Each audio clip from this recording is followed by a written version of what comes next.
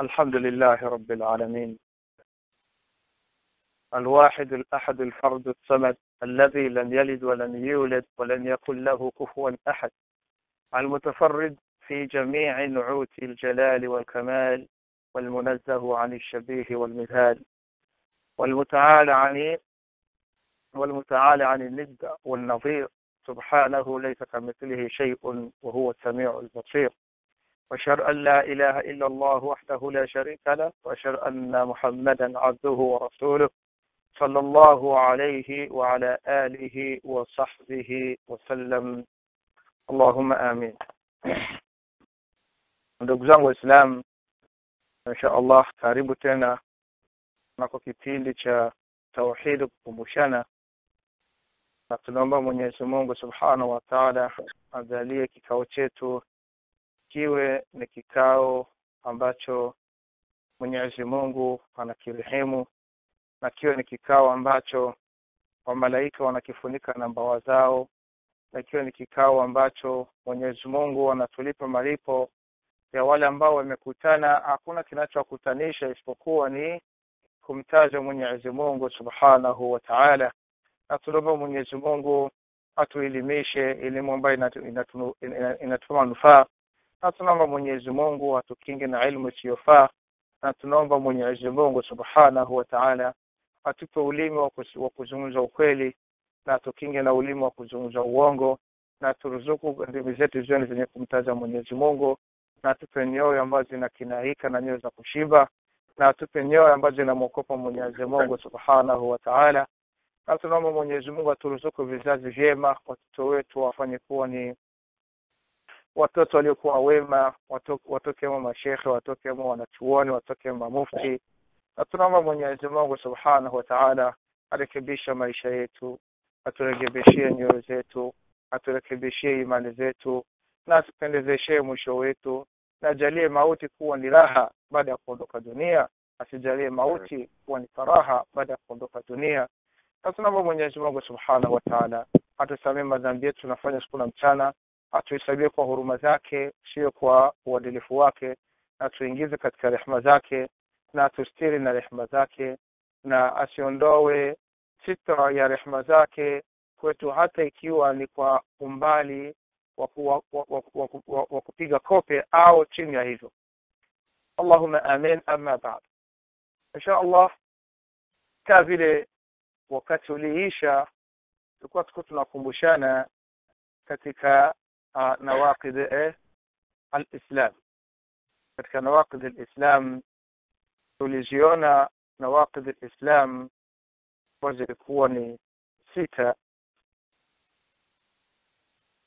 ya viko vingi vya kuweza kuharibu nini uislamu na hivyo kama tumevyoona waislamu wote au wanachuoni wa kiislamu kwa bia ama kwamba mtu akiwa na itikadi hivyo ambavyo tumeyaona basi anakuwa iko nje ya uislamu.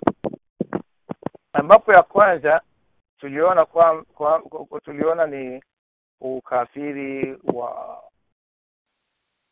yani ukafiri wa uh,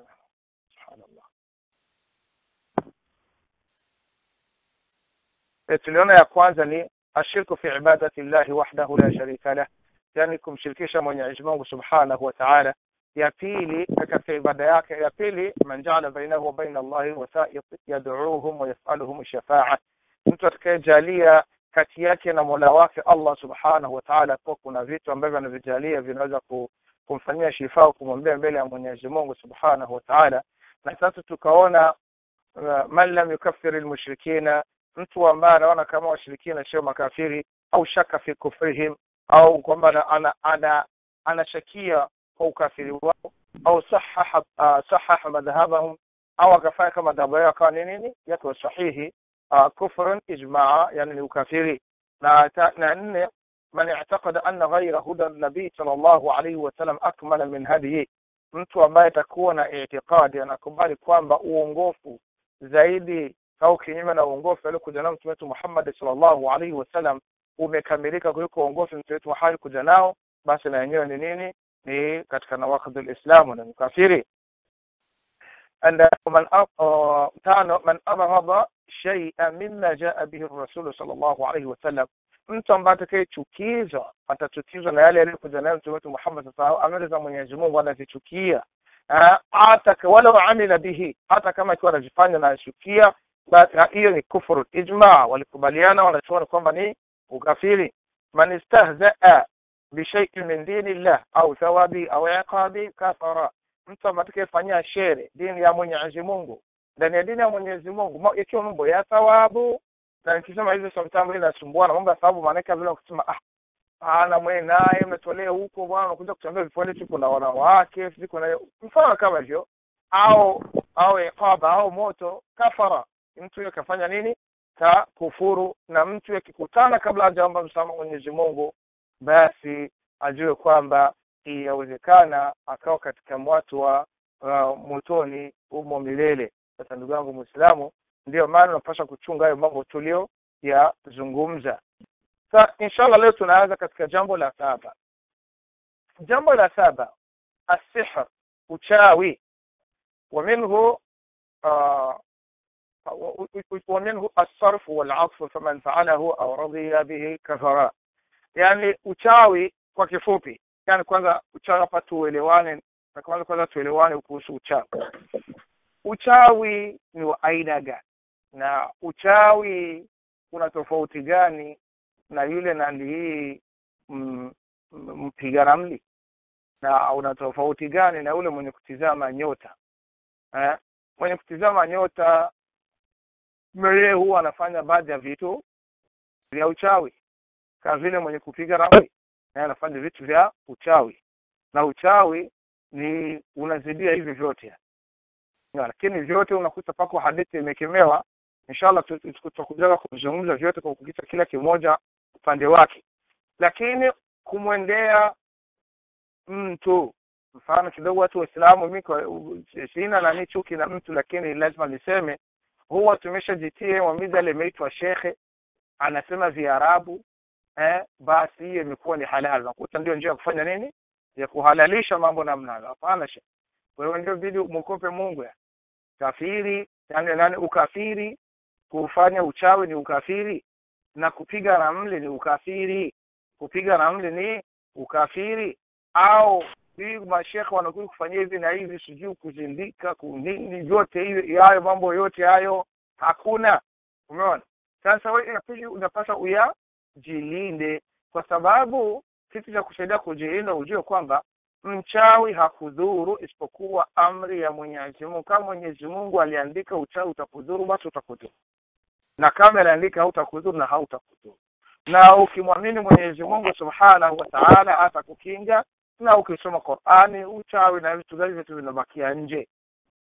Insha Allah, jilinde na uchawi, jilinde na jilinde na ramli, jilinde na na mambo ya, ya, ya feleki feleki hayo yote, jilinde ubakie mbali nayo kama unataka miongoni mwa watu walisalimika kukutana na Mwenyezi Mungu Subhanahu wa Ta'ala. Namba nane, mudhaharatu lmushrikina wa muawanatihim ala lmuslimina, yani ku, kuonyesha uh, yani kuonekana ukiwa wewe ni kipenzi cha cha makafiri washirikina na unawasaidia yani kwa uh, kwa kuwa Waislamu au unawasaidia kwa kupita kwa kupiga vita Uislamu, basi na penyewe hiyo ni nini? Ni ukafiri. Na ushahidi kwanza wa, ushahidi ni upi?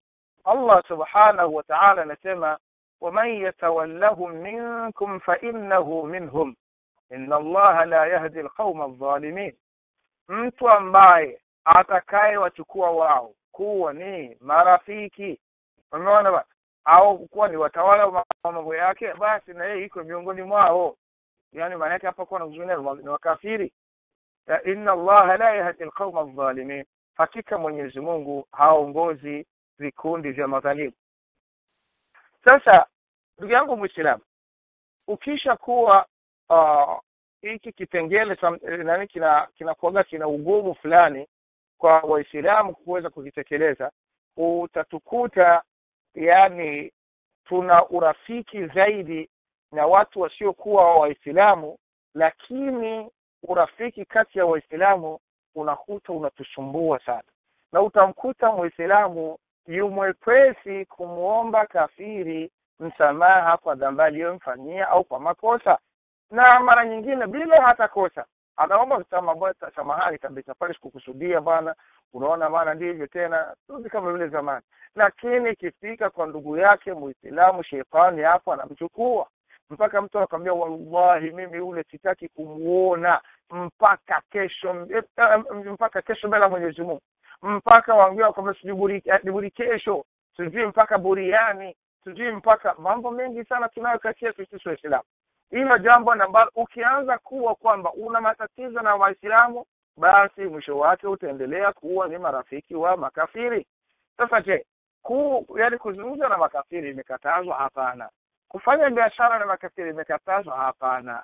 Yani ku, kuwa na muamala nao imekatazwa? Hapana. Kitu kimekatazwa sio uwape mapenzi ya dhati. Kwa nini? Kwa sababu hayo ni ya muislamu sio ya mtu kafiri. Kwa sababu wewe ukiwapenda sana basi utafufuliwa nao. Umeona? Ndio maana mwenyezi mungu alisema nyinyi mnawapenda lakini hawawapendi. Baya likiwafikia basi kwao inakuwa ni wanafurahia. Na ba, na zuri likikufikieni basi kwao inakuwa ni chukizo umeona hii ndio vile iko. Na utizama kafiri wanapendana wao kwa kabla mwenyezi mungu amesema aulia baadhuhum baadh yaani wanapendana wao kwa wao. Na hawatakuthamini wewe kuliko wanaothamini wao kwa wao. Sasa na wewe lazima ujue kama lazima mthamini mwislamu wenzake bila mwenyezi mungu sio na uadui. Na sio na uhasama. Ufanye uadilifu uwape haki zao. Na kiwa kuna heri utawasaidia wasaidie. Lakini ikifika kuwa wewe unakukutana kuwa na nini hii jitenge mbali bila hivyo utajikuta umeingia katika kundi la washirikina la makafiri ambalo litakalo kuwa linapiga vita waislamu ndugu yangu mwislamu namba tisa من اعتقد أن بعض الناس لا يجب عليه اتباع النبي صلى الله عليه وسلم وإنه يسعه الخروج من شريعته كما وسع الخضر الخروج من شريعة موسى عليه عليهما السلام فهو كافر mtu atakuwa na itikadi anaamini kwamba baadhi ya watu hawalazimiki kufata sheria ya mtume muhammadi salllahu alaihi wasallam muislamu unasema kwamba tu mtu mwa hii dunia hapashi kufata sio lazima yeye kufata na unaamini hivyo sio lazima yeye kufata sheria mtume muhammadi salllahu alaihi wasallam basi wewe ujue umefanya kosa. Kama vile yani watoa mpaka vile ni khidr alipokuwa nabii musa alaihi salam ni wakati wa musa lakini khidr haku yani hakuwa katika nani uh, sheria ya kumfuata musa alaihi salam. Lakini hapa kuna tofauti. Mtume muhammadi salllahu alaihi wasallam ametumwa kwa watu wote. Wote. Wakati mmoja umar radiallahu anhu alipokuwa ana, ma, ana maneno ya kumsifu mwenyezi mungu ametoka katika zaburi. Akaanza kwa mtume muhammad unaona maneno haya hey, kama tu yale ya maneno mazuri kama tungeya eh, kuyaandika au kunini mtume muhammad sallallahu alaihi wasallam alikasirika akamwambia ya umar nakwambia kama musa ibnu imrani ingelikuwa hai alikuwa hana budi na kunifuata mimi. Sheikh lazima ufahamu hiyo hadithi. Musa ibnu imran katika katika mitume ulul azm mitume ambao wana watu wengi walifatwa na watu wengi musa alayhi salam Ibn imran mtume Muhammad sallallahu alayhi wasallam anamwambia anamwambia umar ya umar ewe umar lau kama musa Ibn imran musa mtoto wa imran angelikuwa yuhai basi alikuwa hana choice hana budi ni kumfuata mtume muhammad sallallahu alayhi wasallam na kwa sababu gani mtume muhammad akatuma sio kwa watu tu na majini yote kusudi ingie ufunguo wao ni la ilaha illa allah muhammadan rasulullah. Sasa wewe ukija kusema kwamba unaoneka kuna watu fulani au kundi fulani au mtu fulani na yeye sio lazima kumfuata mtume Muhammad sallallahu alaihi wasallam ukaifanya kwamba sheria ya mtume Muhammad sallallahu alaihi wasallam ni kwa baadhi ya sio kwa watu wa. Hapo unajua umefanya kosa umefanya ni ni ukafiri. Insha allah hilo ni jambo la la tisa. La kumi الإعراض عن دين الله لا يتعلمه ولا يعمل به والدليل قوله تعالى ومن أظلم ممن ذكر بآيات ربه ثم أعرض عنها إنا من المجرمين منتقمون الإعراض عن دين الله لا يتعلمه. yani kuipa dini mgongo yani kabisa hutaki kuisoma wala hutaki kuijua wala yamalu bihi na wala haufanyi vitendo kwake. Yaani wewe na uislamu hata dini yani sijui kuambia namna gani. Yani umekata mawasiliano katu katu. Basi mtu namna huyo na huo tena ni katika nawaqidh eh alislam. Mfano unaweza kusema mbona sijasikia vizuri? Ni kwamba ikiwa wewe hautajua hautasoma uislamu utaishia katika shirki. Na ukikutana na Mwenyezi Mungu utakuwa katika uko na shirki. Inna Allah la yaghfiru an yushraka bihi wa yaghfiru ma duna dhalika liman yasha hakika Mwenyezi Mungu hakubali kufanya nini? Kushirikishwa. Lakini anasamia madhambi mengine.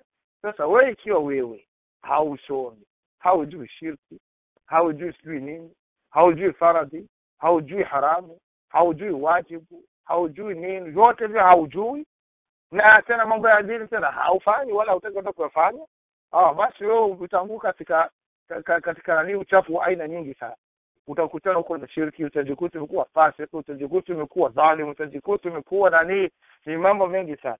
Sasa ndugu yangu muislamu kwa haya mambo kumi tumeyasoma haya mambo kumi wewe muislamu unapaswa ujichunge katu katu usiweze kuanguka katika hayo mambo.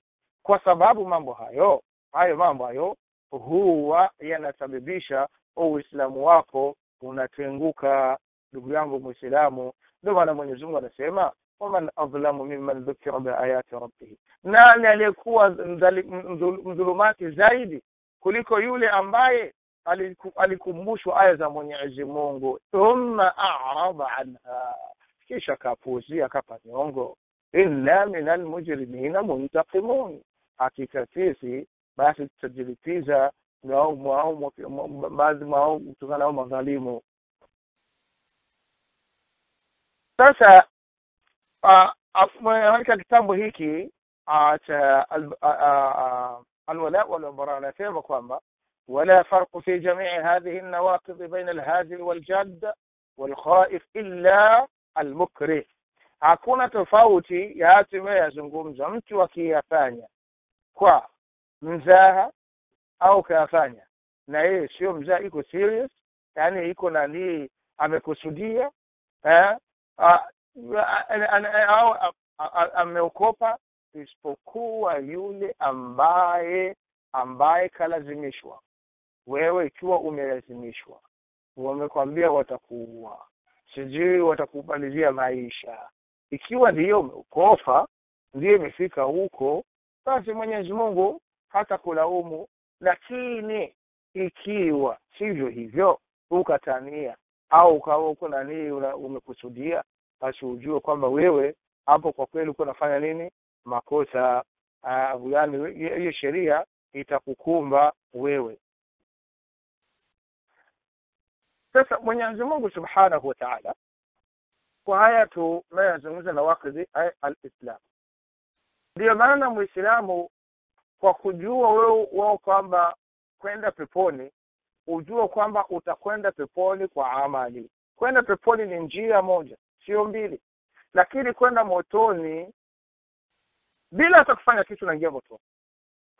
Katika unisikilize vizuri ndugu wangu wa mwislamu kuingia motoni sio lazima ujishughulishe ujishughulishe na mambo ya kuingia motoni. Hata kama kufanya mambo yote usifanye heri jaikalie bila kufanya kitu naenda motoni. Lakini peponi njia moja tu lazima usimame ufanye amal.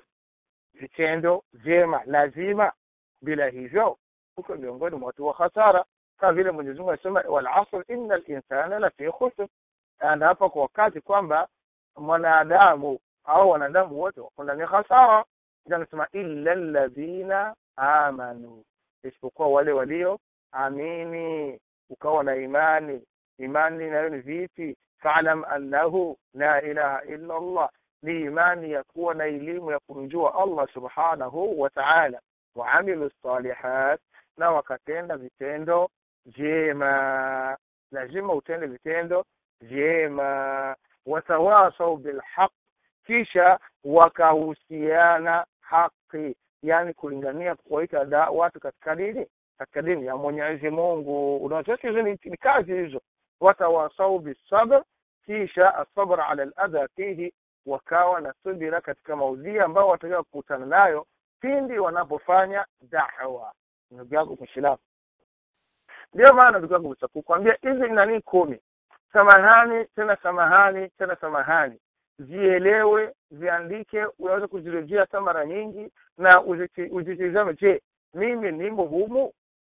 Mimi je ah mambo ya, kuna penye ananigusa? Ukikuta kuna nafasi yanakugusa basi ndugu yangu mwislamu jitahidi urekebeshe kabla haujakutana na mola wako. Kwa sababu mwenyezi mungu akiwa amekupa nafasi. Bado unapumua. Basi ujue hiyo ni nafasi yako ya kuweza kurekebisha kwa kutubia. Toba tu.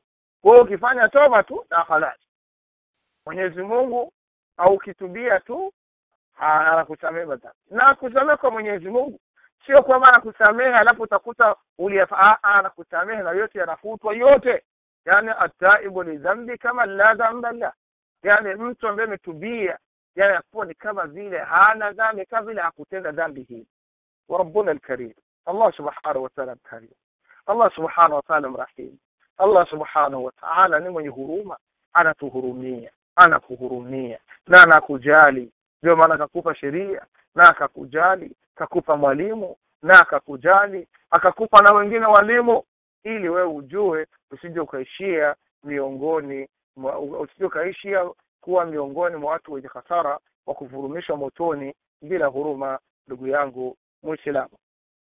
Narudia yemo haya mambo tena insha allah kwa kimbizana ili yani naomba tuko namna kurudia insha allah kusudi tuelewe. Jambo la kwanza ashirku في عبادة الله وحده لا sharika له. kumshirikisha mwenyezi mungu katika ibada na ibada tuliona ni nini ismu jamiun likulli ma الله ويرضى. wa yarda katika kila jambo lote yani ibada ni mambo ambayo mwenyezi mungu anayapenda na anaridhia miongoni mwa maneno na vitendo yakiwa vya dhahiri au ya siri basi hiyo ndiyo ibada. Na ibada tusema iko aina mbili iko dhahiran wa batina maanake iko ibada ya ya kuonekana. Na ibada ya kuonekana ni ibada za za amali ljawarih amali za amali ljawarih au amalu lisan. Yani yani ibada au vitendo au maneno ya ulimi na nini na ya na ya viungo.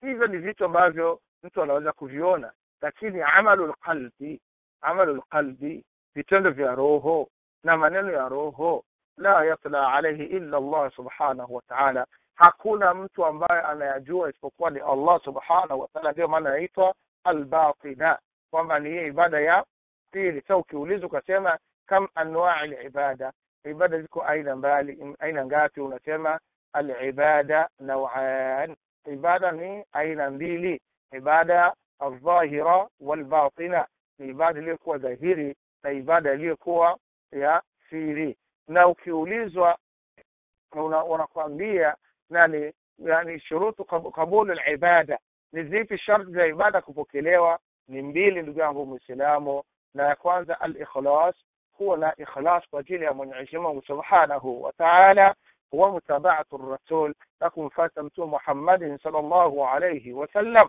sasa usikubali mtu akakuharibia ibada yako au sheitani au wasiwasi au nani ujilinde usiweze kumshirikisha mwenyezi mungu ukampa mwenyezi mungu mshirika na mtu au kitu au aina. Ujitahidi usiweze kufanya hivyo ikiwa ndani ya rububia au katika uungu au katika ibada au katika utukufu au majina ya mwenyezi mungu au sifa za mwenyezi mungu jitahidi usiweze kumpa mshirika mwenyezi mungu subhanahu wa taala. Kwa sababu inna allaha la yaghfiru an yushraka bihi wayaghfiru ma duna dhalika liman yasha. Hakika mwenyezi mungu hasamehi kushirikishwa basi anasamehe madhambi mengine na kwa yule anayemtaka. Ndugu mwislamu hiyo ni hasara moja kubwa ambao unaweza kujikuta tumeshia katika moto wa jahannama hawalidina fiha bila kutoka kama kafi. tunaomba Mwenyezi Mungu atukinge insha Allah. Allahumma amin. Namba mbili man ja'ala bainahu wa baina Allah wa ta'iq yad'uhum wa yas'aluhum shafa'a kafara ijma'a. Mtu ambaye atakayejalia mtu kitu aina kwamba ni wasaif kwamba yeye kusudi yake pokelewe lazima kwamba amwombe mtu huyo. Eh, lazima ipite kwa mtu huyo kwa kitu hicho kwa aina hiyo basi hiyo ni kufuru. Kuna wengine wanakwenda kwa makaburi ya mawalii wanazunguka. Ndugu yangu mwislamu unafanya kufuru na ni shirki. Mwingine anaweza kuambia pana bwana huyo ni walii. Aha.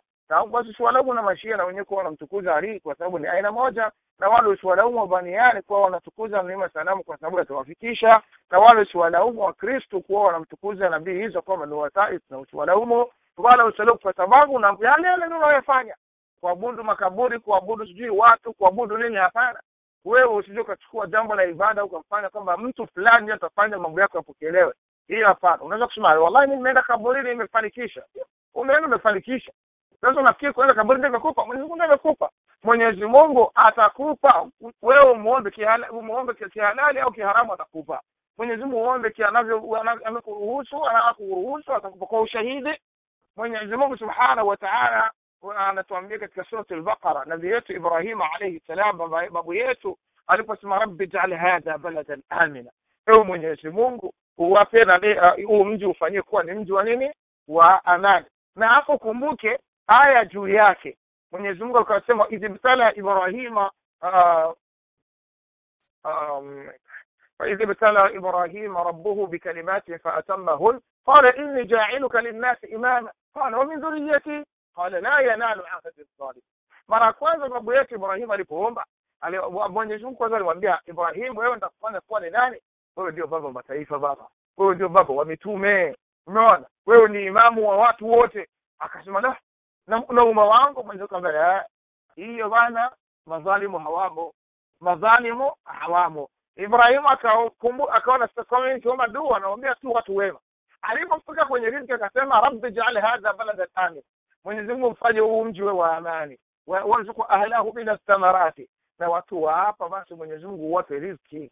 Wafungulie milango ya riziki min ath-thamarati katika mazao na na matunda na mboga mboga na vitu vyote katika riziki na, na wahaluma jara dhahabu mali vyote ya rabbi wake.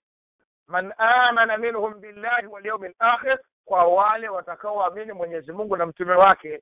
Ah Mwenyezi Mungu akamwambia aje waman kafara na mwenye kukufuru nitampa faumatiuhu qalila thumma astaruhu ila adhabi nar kumbuka hiyo kusema kwamba ukiona kwamba umeenda kaburini umeomba umepewa unafikiri redio zenyewe zinatumika bwana wallahi ni rakora wallahi ni zenyewe shekhe hapo najidanganya naingia katika mtihani njia yote kama Mwenyezi Mungu ni mwenye kuma na mwenye kuruzuku kwa sababu ukumbuke wewe riziki yako imeandikwa kitu chako unachoomba wewe kama ukiomba katika njia halali ukiomba katika njia haramu wewe mwenyewe utakipata lakini wewe ndio umesababisha njia yako kijemo mfano katika riski ndugu yangu mfano katika riski. Mtu ukiamua kufanya riski ya haramu riski yako itakuja. Sio katika kuna mesa riski yako. Mwenyezi Mungu kupata riski haramu? Hapana. Kwa sababu sababu ya kupata riski ni wewe.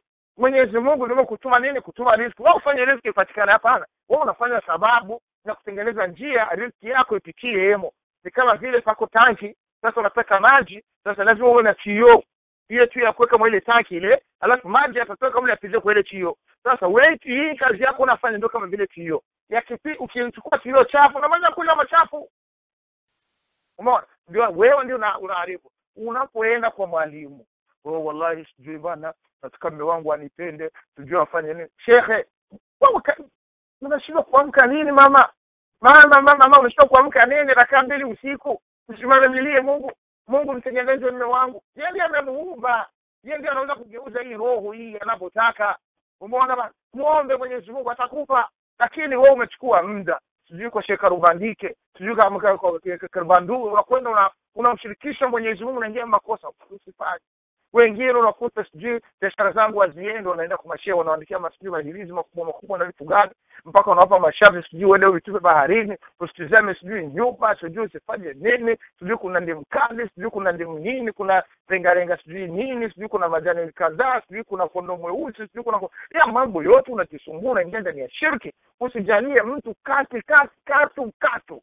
Mwenyezi mungu muombe. Allah subhanahu wa taala muombe وإذا سألك عبادي عني فإني قريب أجيب دعوة الداعي إذا دعان Mwenyezi Mungu anakuambia mja wangu niko anapouliza kuhusu mimi niko karibu najibu dua zake. Mwenyezi Mungu amejibu dua ya nani ya Firauni na sita kujibu yako. Kajibu dua ya Ibilisi. Ibilisi alimwambia rabbi anzirni ila yaumi yub'athun. Mwenyezi Mungu usinifishe niache mpaka nikae mpaka siku ya nania ya kufula. Mwenyezi Mungu aiyo sikufa, lakini nakupa utakaa mpaka siku ya baragumu na kwa kufa na wengine. Sasa wewe useme la ilaha illa Allah subhanallah. Akupi kuna imani gani ndugu yangu Muislamu? Sasa usijalie huyu bwana sijui wali fulani, sijui wa kaburi fulani, sijui na mtu wa, wa fulani. Haya mambo yote achana nayo. Wewe uko na walii wako ولي المؤمنين الله سبحانه وتعالى. الله ولي الذين آمنوا يخرجه من الظلمات إلى النور.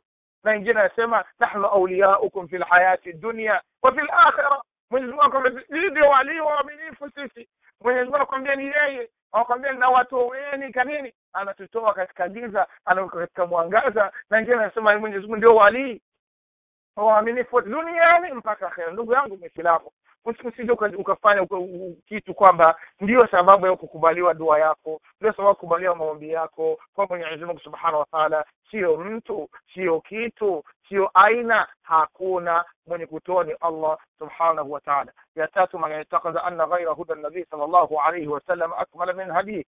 Yaani kwamba mtu aukuwa na itikadi. Yashe ukiwa na itikadi. Kwamba uislamu kinyume na uchafu na hadi ingine mimi kweli imekamilika shekha hadi makosa mpaka sasa unakuta tu tumekwenda mpaka mbali kila kitu makafiri wakifanya tunafanya. Yaani wakifanya tunafanya. Wakisimamisha tunasimamisha. Sasa tunashindwa kujua unafuata nani hidaya gani unamfata sasa siku hizi tuna mapati mengi lakini samahani zinazungumziwa kina mama kina nane kitu namni hata kuna kitchen party sijui kutakipata sijui kuna kinani hivi sijui kuna baby shower sijui kuna vitu gani sijui kuna nani aina zitakuja sijui kuna baba siku ya baba sijui siku ya baba siku ya nani. Na unakuta kwa sababu hii yote hatukina hiki na na hadi aliyokuja nayo mtume Muhammad sallallahu alaihi wasallam mpaka wenyewe tunaongezana vingine mpaka tukwenda mbali mpaka katika ibada. La ilaha illa Allah yani bidhika tosheka kwa sababu Mwenyezi Mungu anasema hivi anzalahu ala ilmi Mwenyezi Mungu ateremsha kitabu kwa ilmu yake. Kwa ilmu ya Mwenyezi Mungu. Ni kitu gani ambacho kimekosekana kimekamilika vitu vyote? Wewe tu zama na Qur'ani tulia ukiwa haukuwa ukiwa unaambia Allahumma allimni. Unaambia rabbi zidni ilma rabbi zidni ilma warzuqni fahma. Mungu nipe nani elimu na uniruzuku kufahamu utavipata vyote vimo ndani ya Qur'ani na hadithi. Hakuna kilichokuchoka katika Uislamu namba namba tano man abghadha shay'an mimma jaa bihi rasul sallallahu alayhi wasallam wa amila bihi. Yani kutukizwa na kitu ambacho na haja kuja miongoni mwa sheria au namba nne. Namba nne? naona.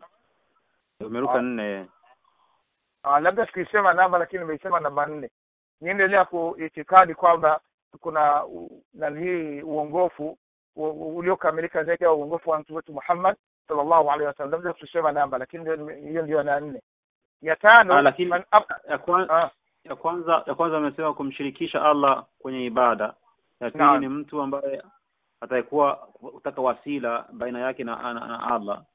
Ya tatu ndio hiyo anasema itikadi kwamba kuna uh, makubwa zaidi ya, ya yale ambayo ambayo kwamba alikuja nayo mtume Muhammad sallallahu alaihi wasallam. Ah, basi sasa sana kuna yenye nimeruka lakini ya tatu ndio nimeruka. Man lam yukaffir almushrikina mtu ambaye ataona kwamba ana matatizo ya kuwashirikina kuambia kusema kwamba ni kwa kuwakafirisha ni mkafiri.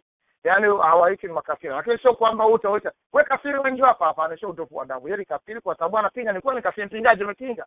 Umeona ukiwa una matatizo kusema kwamba sio makafiri basi wewe ujue kwamba wewe hapo umefanya makosa kwa sababu Mwenyezi Mungu amesema inna alladhina kafaru min ahli alkitabi wal mushrikina fi nari jahannama kwa kuwajumlisha watu wote hapa.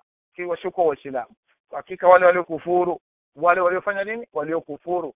Miongoni mwa watu wenye kitabu. Yani muungano wa kitabu kuna wengine walisilimu.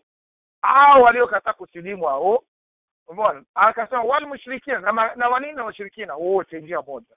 Fi nari jahannam khalidina fiha. Yani watakuwa motoni milele. Yani hapo wote utajani sasa wewe sio uende kusema kwamba hauwezi kuwakufurisha watu hapana. Sasa uh, namba tano sasa ndio ni namba tano. Barakallahu fik Sheikh Omar. Mwenyezi Mungu akuzidishie kheri Sheikh. Man abghadha shay'an mimma jaa bihi Rasul sallallahu alayhi wasallam mtu ambaye ata, atakuwa anakirahika anaudhiwa hakipendi anakichukia yani sheria yoyote au jambo lolote limecheza ndani ya Qur'an lim- limekuja ndani ya sheria lakini wewe unalichukia. Eh basi ujue ni makosa. Mfano mdogo. Mfano mdogo o, yani unakuta mwingine kwamba ah baba mashungishungi ah ah eh wewe mtu tolee huko baba. Eh ambao tumetoa wapi haya? Hapo unafanya makosa. Hapo Mwenyezi Mungu amesema ni amri. Yani wewe unajitahidi ikiwa utashinda ndugu yangu Muislamu kufuata basi usishindwe kuamini. Hicho kitu cha lazima sana. Ikiwa umeshindwa kufuata kutekeleza basi usishindwe kufanya nini? Kuamini. Na na ushahidi kwa sababu Mwenyezi Mungu anasema katika uh, surati Muhammad aya tisa anasema dhalika annahum karihu ma anzala Allahu fa ahbata a'malahum. Kwa- hiyo wenyewe kuporomosha vitendo vyao vitendo vyao vyote kuporomoshwa maanake hao hawana kitu tena mbele ya Mwenyezi Mungu. Ni kwa sababu walikirahishwa na yale ambayo alikuja nayo mtume wetu Muhammad sallallahu alayhi wasallam namba sita man istahzaa bi shay'in min dinillah au thawabi au iqabi kafara. Mtu ambaye akichezea shere anachezea dini ya Mwenyezi Mungu dini ya Allah subhanahu wa ta'ala anafanya mzaha ndani ya dini. Umeona bana? Ikiwa ni mambo ya thawabu au mambo ya adhabu yoyote yale wewe ukafanya shere ukatezea shere nani dini ya Mwenyezi Mungu kitabu cha Mwenyezi Mungu au Mwenyezi Mungu au mtume wake au mambo ya thawabu au mambo ya adhabu au adhabu za kaburini au mambo ya ukafanya shere basi umefanya nini? Umekufuru ndugu yangu mwislamu ndio maana Mwenyezi Mungu anasema katika nani sura Tauba aya ya na tano na aya ya na tano na sitini na sita anasema qul abillahi wa ayati qul abillahi wa ayatihi wa rasulihi kuntum tastahzi'un la ta'tadhiru al-yawm qad kafartum ba'da imanikum Mwenyezi Mungu anasema kwamba qul abillahi waambie kweli Mwenyezi Mungu Subhanahu wa Ta'ala wa ayati na aya zake wa rasulihi na mtume wake kuntum tastahzi'un mlikuwa mkichezea shere la ta'tadhiru hakum msifanye nini? Msitafute udhuru. Qad kafartum ba'da imanikum. Mmeisha kufuru baada ya imani yenu. Namba saba asihr uchawi. Ndugu yangu muislamu uchawi mchawi mpiga ramli mpiga peleki ndugu yangu muislamu jitenge mbali nayo jitenge mbali nao. Vyote hivyo ubake navyo kwa sababu vyote ni vitu vya najisi. Vitakuja kufanya nini kutengua uislamu wako na uchungu kwa sababu Mwenyezi Mungu Subhanahu wa Ta'ala asikushitue mchawi wala asikushitue mpiga ramli wala asikushitue sijui mpiga feleki kwa sababu wote hao mambo hayatumiki bila idhni ya Mwenyezi Mungu Subhanahu wa Ta'ala. Kwa ushahidi Mwenyezi Mungu anasema wama yuallimani min ahadin hatta yaqula innama nahnu fitnatun fala takfur. Yani wale malaika ambao walikuwa na Babel kwa Iraq ambapo Mwenyezi Mungu alipotuma mtihani kwa hao watu kwa kutumia malaika wale wanawafundisha wanawafundisha hapa mambo ya kheri haya na mambo ya shari.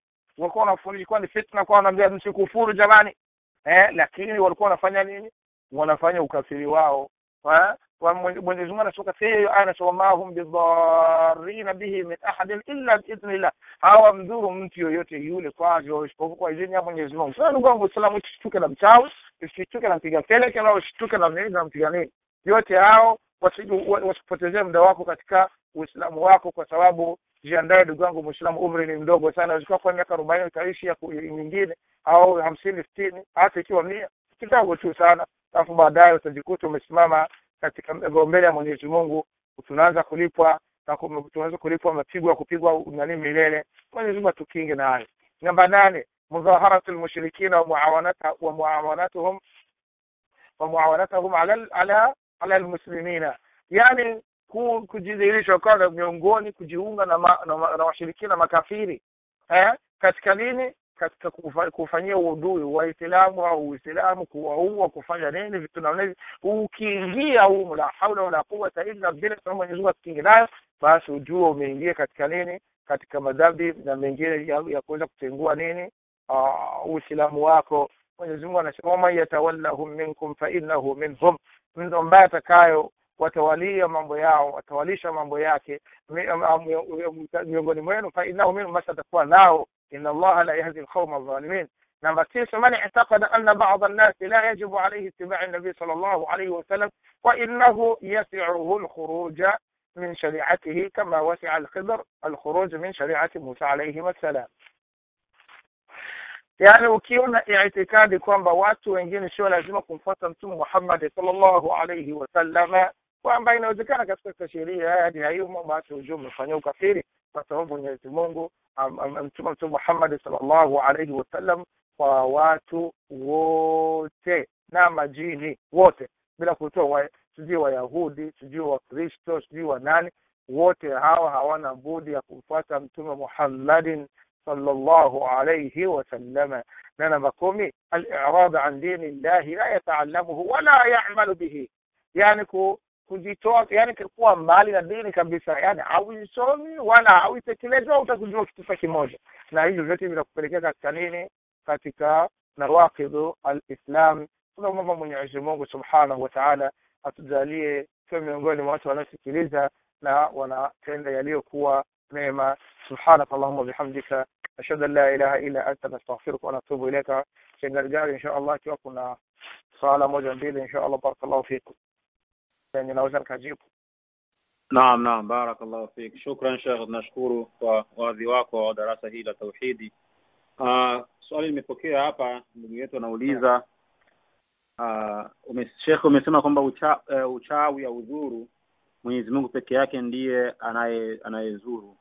uh, sasa itikadi itikadi kuona iti, akasema kwamba sasa ndio mtu maake tuseme kule nyumbani kishazoea kusema kwamba ya mji fulani au sehemu mahala fulani sehemu fulani ya kuna wachawi kule kule akukaa au kalishi mm. na wewe ukasema no, eh, sasa kuwa na itikadi kama hiyo maanake mtu unapaepuka anasema mimi siwezi kwenda kuishi sehemu ile kwa sababu kuna wachawi unaona Mhm. afadhali ende kuishi sehemu nyingine sasa ukifanya hivyo eh, utaku- utaku- uko katika watu katika msomo gani au vipi utakuwa katika uh, kunako dini ya Kiislamu?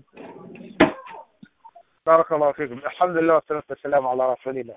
Kuwa na itikadi kwamba uchawi upo. Ya uchawi upo. Uchawi upo. Na hiyo itikadi ni sahihi.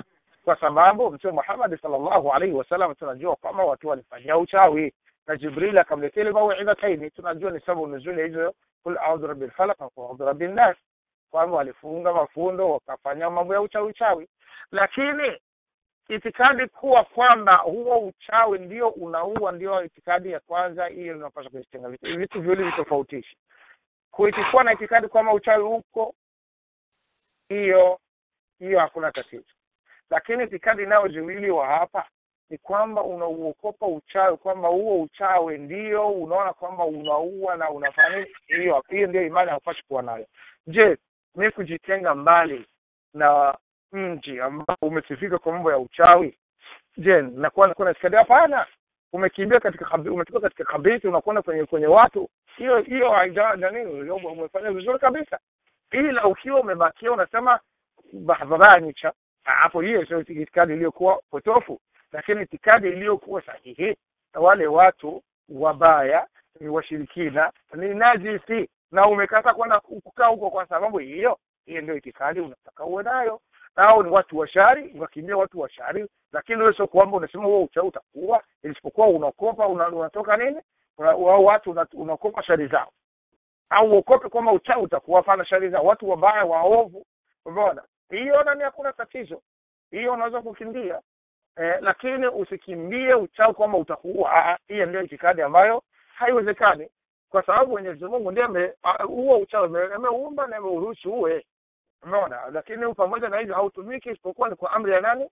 Ya mwenyezi mungu subhanahu wataala sasa mtegemee yule mwenye iko na nini? Na ufunguo wa hivyo vitu vyote sio? Au umesha kumtegemea yule mtu mwingine. Wallahu ala wa ala naam naam Sheikh, barakallahu fik ah swali la pili au ni kupata natoka ndugu yetu anasema assalamu alaikum warahmatullahi wabarakatu, nina swali watu wanaotumikisha tiba la kisheria lakini wanatumikisha majini ili linaruhusiwa katika dini? Alhamdulillah wassalatu wassalamu ala rasulillah. Kutumikisha majini katika tiba ya kisheria hivyo havimo. Umeona hiyo ni sheria ni sio sheria sheria ni kutumikisha qurani na dua ndio hiyo vitu vimo. Lakini mambo ya kuita jini kwa sababu jini haliji lina masharti yake. Lazima ufahamu litakuja na masharti yake. Yule mwenye anayo lina masharti yake. Lazima atekeleze baadhi ya vitu fulani. Unaona? sasa maanake hapo una unajua umekuwaje? Ndio ile wanakwambia yani uh, kwa, sababu gani? Wa, kwa sababu lazima watekeleze nini yale ma, yale maombi ya nini ya ya majini eh, Mwenyezi Mungu Subhanahu wa Ta'ala uh, katika surat uh, al-Jinn katika surat al-Jinn Mwenyezi Mungu Subhanahu wa Ta'ala anasema وأنه كان رجال من الإنس يعوذون برجال من الجن فزادوهم رهقا Ah, Mwenyezi Mungu anasema kwamba hapa tupa historia ya majini anasema uliposikia Qur'an na hakika walikuweko wanaume katika watu au wanadamu waliokuwa wakitafuta kujikinga kwa wanaume wa kijini yaani wanatafuta kukingwa wanatafuta msaada. Kunoa kutoka nini? Kwa majini. Kwa hivyo eh, wakazidisha madhambi. Madhambi zipi yanazidi kwa sababu wewe ni mfano kwa mfano mdogo. Naanza kwa yule mwalimu mwenye majini. Yule mwalimu mwenye majini wakati atatumika mwanzo unafikiri kwenye imani itakuwa itakuwa zaidi zaidi sana. Na kile anavyotumia majini atajikuta imani yake ni majini. Unaona bana sio kwamba atamwomba Mungu. Ah ah. Kwa Mwenyezi Mungu ndio yani Mwenyezi Mungu kushinda pokee dua anamtuma jini hapana hatuma jini unaona bana akiniambia kama kwa ni malaika sijui nitakwambia namna labda malaika. Lakini jini hatumi na Mungu. Mungu Mungu anatuma jini kuja ku- ku- kukubali nani tiba? Hapana. Hayo mambo ya kutumikisha majini hayo hiyo sio tiba ya kisheria. Tiba ya kisheria ni kutumikisha nini? Uislamu ni kutumikisha nini Qur'ani na kutumikisha na dua. Umeona? Hiyo ndio tiba ya ya kisheria. Ama kutumikisha viumbe vingine. Ah, ndugu yangu Muislamu ah, naona hapana hiyo utakuwa umefanya nini? Umefanya makosa. Wallahu a'la wa aala naam shukran shekh barakallahu fik. Um, hapo hapo kwenye majini kuna kuna kuna itikadi fulani ambayo kwamba pengine unajua sasa kule nyumbani hata na hapa pia kuna watu ambao wa- wa- wanayo majini ambayo ya Mhm. wana unayakamata katika hali moja au nyingine uh, kisha majini hayo yaka- yakakujia yani huyo mtu mwenyewe yani yakapitia kwenye mtu ambaye amekamatwa na majini yakakwambia mambo fulani. Unaona? Uh, mambo hayo pengine labda wanakwambia ah, msaidie fulani kwa sababu kwa kweli anasumbu ana ah, hali yake ni mbaya. Unaona? Uh, msaidie labda ma, ngu, eh, mavazi mambo kama vile hayo. Uki, ukifanya hayo mambo kweli eh, huyo fulani ambaye amekusudiwa kweli kweli uh, katika hali mbaya lakini Mm. sasa wewe ukifanya kwa sababu majini alikuambia hivyo utakuwa uko katika msimamo gani? Uh, au eh, itikadi yako itakuwa ni vipi yani? Uh, namba moja hapo kuna vitu viwili vimechanganyikana. Mm? namba moja ikiwa ili imekwambia mtu fulani anakwambia mambo ya ghaibu labda wewe umemuona sio umemuona hapo ni habari nzuri yaani mtu amekuletea habari nzuri hata anaanza kusema kama ni majini nini lakini anakuwa ameona. Lakini kama akaona amedai mambo ya ghaibu mfano mtu akwambie msaidie mtu akupata habari zake hakuna aliyemwambia sijui mtu fulani mambo ya hiyo na hiyo haukubali kwa sababu ni kama vile hata mpiga ramli akwambia bana wewe naona umerogwa ona matatizo kabisa. Umeona bana sasa inabidi wewe kafanya hivi na hivi na hivi na hivi kusudi matatizo yako yaishi. Umeona? Yaani kwa ramli zake amekwambia ukimkubali unaingia katika ile hadithi ya mtume Muhammad sallallahu alaihi wasallam mtu akimwendea kahini akakubali habari yake amekufuru tutakisha mkubali kahini hajui mambo ya siri. Umeona? Lakini mtu mfano kana kuambia hivyo utambuzi umejua. Eh haikwambia kwamba nimeona nimesikia. Ah utekeleze vizuri. Lakini mfano mtu anakwambia mambo ya siri hujawahi kuyaona. Umeona? Wewe ukakubali na amekwambia kwamba ni asiri majini wewe huruhusi kukubali lakini ikiwa utakuta vile yako unakuwa miongoni mwa ile hadithi kwamba mtume Muhammad sallallahu alaihi wasallam anasema kwamba wana majini wao wanawapa habari wanani watu wao wanawapa habari wanapata habari majini yao moja lizuri kisha wanayachanga na tisini na ngapi ya uongo. Umeona? Sasa ikiwa labda hii ni- katika ile uongo na mengine nini ile ni ukweli lakini mengine na ngapi ndio uongo. Sasa kuna kitu pako kama Wamarekani wanasema ukifanya kitu kama what the catch. Eh unakusudia nini baadaye haujui ni kitu gani. Ah, ndio maana yani kama nimekwambia wewe usikuwe usiwe na imani ya kusema nini umekubali hii a a. Lakini ikiwa iko vile wallah lakini wewe haukubali na hii mambo umeambiwa na majini ambayo mtu ambaye hakuona mambo ka- haikubaliwi inshallah kwa sababu huyo mtu anakuwa amedai kwamba anajua ilmu lghaibi wallahu a'la wa a'la naam naam shekh barakallahu fik. Ah, kuna kuna mtu kuna mtu amenifahamisha au amenipigia simu kunifahamisha ana swali lake alikuwa anataka kujua msimamo kunako uh, kisa hichi. Uh, takire faa kifupi kiasi ili uh, nini kwa sababu na magharibi nita- imeshaingia ndugu yetu anasema walikuwa watu wawili wanazungumza. Mmoja hmm, akazungumza kwamba uh, anapata matatizo sana ya kuoa. Maanake kila mwanamke akitafuta ana hmm, ana ni ampati. Maanake anamsumbua hali yoyote inatokea inakuwa hawezi ku kuoa. Unaona Aha. anapata usumbufu wa kuoa kabisa. Unaona haya ule mwingine alipo alipomaliza hayo ma, hayo ma, ma, ma, mazungumzo akaenda akaambia wenzake ah mimi nashangaa jamaa vipi anashindwa kuoa. Mimi nikiwa mimi anakwenda tu Afrika kule naweza kaoa mwanamke wa aina yoyote kule hamna tatizo yani. Unaona?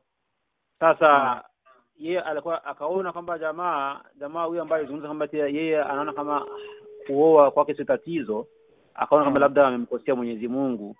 Ah maanake kuwa na itikadi kwamba ah, yeye ndio ana uwezo wa kuoa au yeye kabisa kwa sababu anaishi Marekani au Kanada anazo pesa anaweza kaua yeyote ambaye anayemtaka na wala hakuna kizuizi chochote anashindwa kufahamu kwa nini ile mwenzake ambaye anapatikana hapa pa Marekani pia lakini ana matatizo ya kuoa sa itikadi kama hii mtu huyo amwombe msamaha Mwenyezi Mungu kama amekosea au ah, alikuwa tu sawa yani kwa huyu mwenye hakuoa au tafikiri swala siku- siku- siku- limenichanganya kidogo swala nafikiri swali yaani swali liko hivi jamaa ali, ali, ana, ame, ame kama vile kumkejeli ndugu yake au rafiki yake kwamba anashindwa kufahamu kwa nini yeye ana tatizo la kuoa kwa sababu ni habari ambayo aliambiwa na rafiki yake sasa yeye akaona Mm. kwamba ah mimi mimi niko Marekani unaishi Marekani na pesa nikienda nyumbani Afrika naweza nikaoa mwanamke Mm. wowote kwa uwezo ambao ninao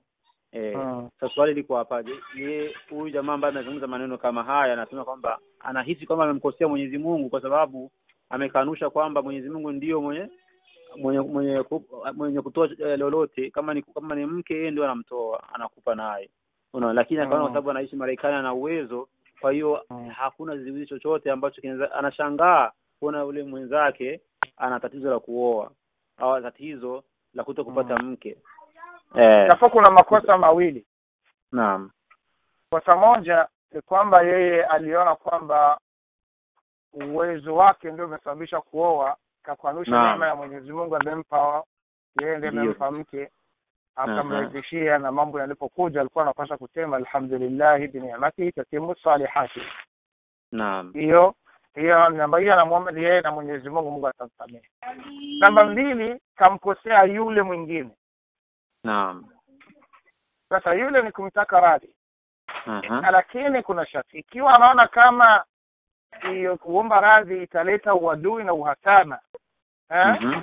Mhm. basi inabidi achukue muda anamwambia dua kwa Mwenyezi Mungu amrahisishie ampe mke mwema au anamwambia Mungu ampe mke mwema hiyo inatosheleza na au anamsema vizuri mbele ya watu na kumtakia udhuru na sio kusema kwamba amvunjie na ni heshima au utu wake kuweza kudhalilisha. Wallahu a'la wa a'lam. Naam. Lakini kama anaweza kumpa msamaha bado kwa moja hakuna matatizo hiyo ni bora zaidi.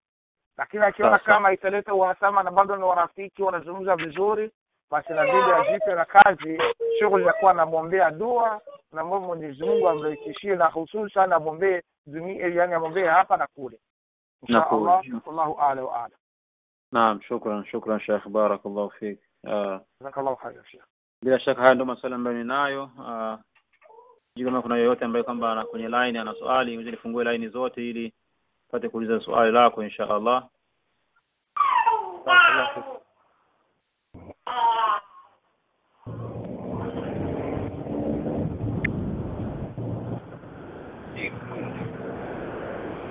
Barakallahu fik. kwenda sehemu kwanza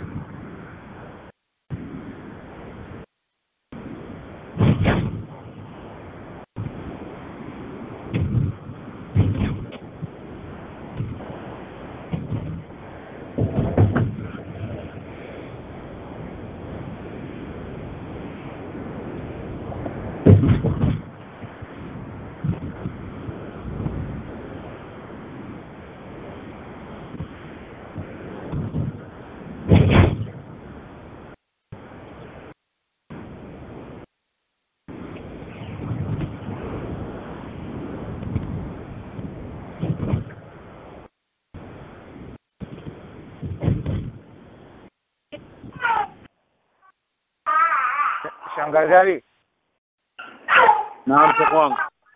Ah, hao watu wawili huyo mmoja anakaa hapo Marekani mwingine anakaa wapi? Burundi? Wote Marekani wote. Oh. Sasa na, ka- na, na kama anaweza kumsaidia akiwa anataka kufanya wema zaidi am, am, am, amsaidie namna kupata mke mwema itakuwa ni bora zaidi na penyewe inshallah. Inshallah. Kheri juu ya kheri. Ni kweli. Naam